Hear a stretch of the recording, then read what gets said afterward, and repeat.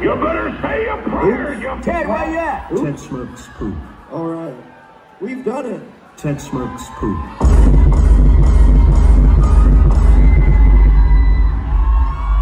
Haven't, uh, haven't pissed myself on stage yet. Not today. Not today, demons. Alright, let's fucking get it. Ted, Uh, yeah. this is a song that we did with uh, Skrillex. This one's called Torture Me.